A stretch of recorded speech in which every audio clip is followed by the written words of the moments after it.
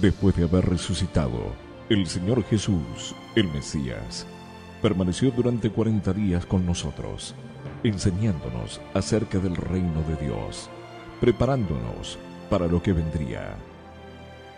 Asistimos su ascensión al cielo y ahora somos testigos en Jerusalén, Judea, Samaria y hasta los confines de la tierra. Pero no seríamos dejados solos, pues Él dijo que su dádiva llegaría en breve, el Espíritu del Señor. Entonces, cuando estábamos reunidos en el día de Pentecostés, de repente escuchamos un ruido semejante al de un viento impetuoso. De la nada surgieron lenguas de fuego que descendieron sobre cada uno de nosotros. Fue algo increíble a los ojos humanos. Fuimos llenos con el Espíritu Santo.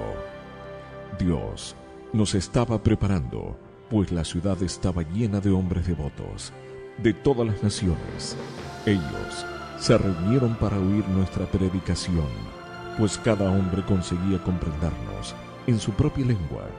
Este día, tres mil se arrepintieron y fueron bautizados. Ninguno de nosotros había hecho algo semejante en la vida. El Espíritu Santo es la dádiva gratuita que es dada a todos aquellos que en Él creen. Usted, también con el poder del Espíritu Santo, puede hacer grandes obras, las cuales nunca imaginaría ser capaz de realizar. En el Espíritu Santo tenemos esperanza, luz, confort, paz, amor y vida. Mi amigo, no deje que esta dádiva tan poderosa permanezca adormecida dentro de sí. Dé oídos a Él, aprenda con Él y use su fe. Pero recibiréis poder cuando el Espíritu Santo venga sobre vosotros.